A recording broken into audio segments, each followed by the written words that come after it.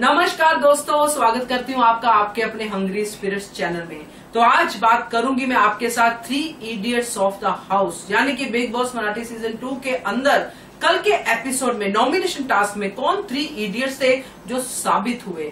तो उनकी बात करते हैं। पहले आप कीजिए हमारा चैनल सब्सक्राइब जिन्होंने अभी तक नहीं किया है दोस्तों।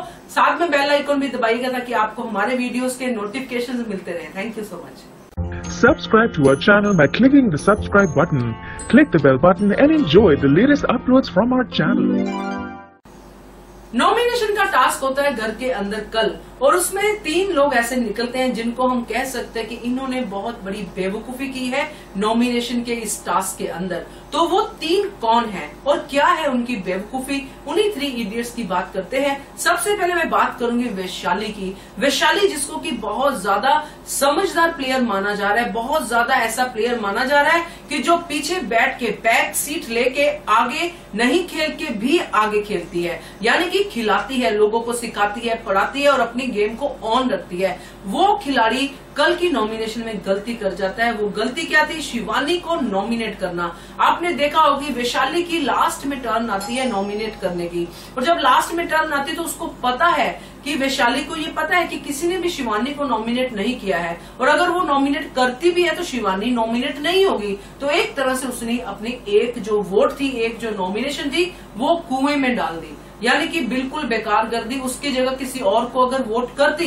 तो वो डेफिनेटली नॉमिनेट हो जाता।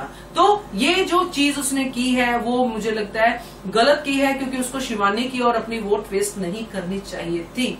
तो ये तो एक होगी वैशाली दूसरी मैं बात करूँगी नेहा की। नेहा ने की हिना को वोट। तो नेहा को वोट करके नेहा ने बिल्कुल भी अच्छा नहीं किया, बिल्कुल भी समझदारी वाला डिसीज़न नहीं लिया, क्योंकि हिना के साथ चाहे उसकी बनती है, चाहे उसकी नहीं बनती है, मगर अल्टीमेटली हिना जो है उसके ही ग्रुप में है। और शिवानी ने शुरू में ही ये चीज़ जब ग्रुप फॉर्म करने की कोशिश की थी, वापस से उसने सोचा था कि बड़ा ग्रुप बनाती हूँ तो उसने बोला था कि हिना अपने ग्रुप में चाहिए। और यहाँ पे नेहा हिना को नॉमिनेट करके क्या साबित कर रही थी? कुछ भी नहीं। क्योंकि साबित करने के लिए कुछ था भी नहीं, क्योंकि एक उसकी अपनी अंदर की खुंदस थी जो उसने हिना को नॉमिनेट करके साबित की।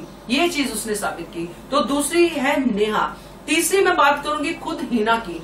हिना ने क्या किया? हिना ने भी नेहा वाली गलती की। उसने नेहा को नॉमिनेट किया, ना सिर्फ़ नेहा को किया, साथ में किशोरी ताई को भी नॉमिनेट कर दिया। किशोरी ताई, जिनको वो बहुत प्यार करती है, जिनके साथ रहती है, जिनके साथ वो सब जो इमोशनल मोमेंट्स होते हैं, वो उसने उनके साथ बिताए हैं। तो कहीं ना कहीं हमें लगता था किशोरी और हिना की आपस में कुछ बन रहा है, कुछ मित्रता हो रही है। मगर कल उसने हिना ने ये करके ये साबित कर दिया कि उसने किशोरी के साथ कोई मित्रता नहीं है। वो किशोरी को जैसे बाकी लोग समझते हैं, ये भी वैसा ही उनके बारे में सोचती हैं। तो दोस्तों, ये है तीन इडियट्स कल के नॉमिनेशन टास्क में। आपको क्या लगता है कि क्या मैं कहीं पे गलत बोल रही हूँ? तो कमेंट सेक्शन में कमेंट करके बताइए। और बने रहे हमारे चैनल हंग्री स्पिरिट्स के साथ। Thank you so much Subscribe to our channel by clicking the subscribe button. Click the bell button and enjoy the latest uploads from our channel.